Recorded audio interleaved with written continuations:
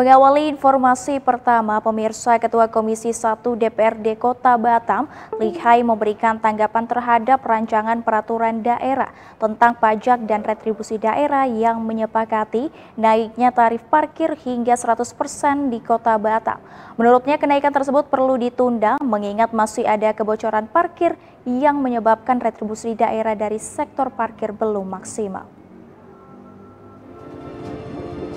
Dalam ranperda pajak dan retribusi daerah, telah disepakati adanya kenaikan tarif parkir hingga 100%.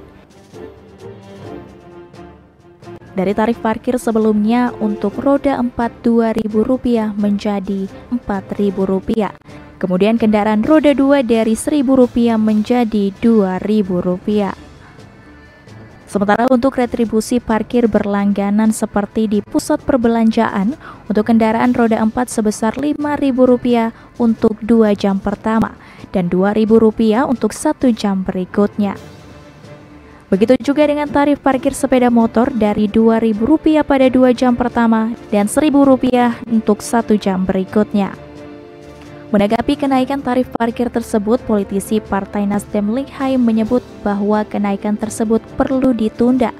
Ia menilai bahwa peran Dinas Perhubungan Kota Batam belum maksimal karena masih banyak kebocoran pendapatan parkir, terutama parkir pinggir jalan. Saya tidak tahu ya, selaku ketua komisi saya tidak tahu karena parkir memang bukan di bawah komisi Tapi menurut saya kenaikan ini saya kira harus wajib ditunda lah karena ini kebocoran parkir kita ketahui tahun ke tahun kebocoran parkir itu kan makin banyak. Dan keseriusan dalam Pemkot yaitu diskupnya Dinas Perhubungan dalam menangani kebocoran parkir itu sampai di mana? Kita ketahui sekarang 2000 saja sudah timbul banyak masalah. Banyak timbul masalah parkir-parkir liar. Terutama kita yang perlu kita tanyakan di uh, apakah dalam hal uh, perlebaran jalan oleh pem, apa uh, pemko sendiri pemerintah pemerintah setempat itu untuk membuat parkir liar yang menambah atau gimana? Sedangkan sampai saat ini kita ketahui di pinggir jalan kan banyak tukang parkir, ya kan? Dan apakah itu ada masuk ke PAD-nya? Yang tahu kita juga parkir di pinggir jalan itu tidak memiliki tiket, tidak memakai baju, baju parkir, seragam parkir lah ya kan seharusnya dari dishub harus menentukan itu Kenaikan tarif parkir ini justru dikhawatirkan dapat menimbulkan masalah baru seperti munculnya parkir liar yang dapat menimbulkan ketidaknyamanan pengguna jalan.